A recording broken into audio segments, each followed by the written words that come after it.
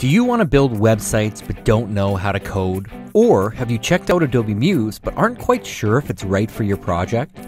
Our new Quick Start Guide to Adobe Muse video series is the easiest way to learn Muse fast. We cover just the essentials, the key tools that you'll use daily to work with Muse sites. You don't need to invest 8 hours of your life to get started with this application. Just an hour over one of your lunch breaks will do the trick.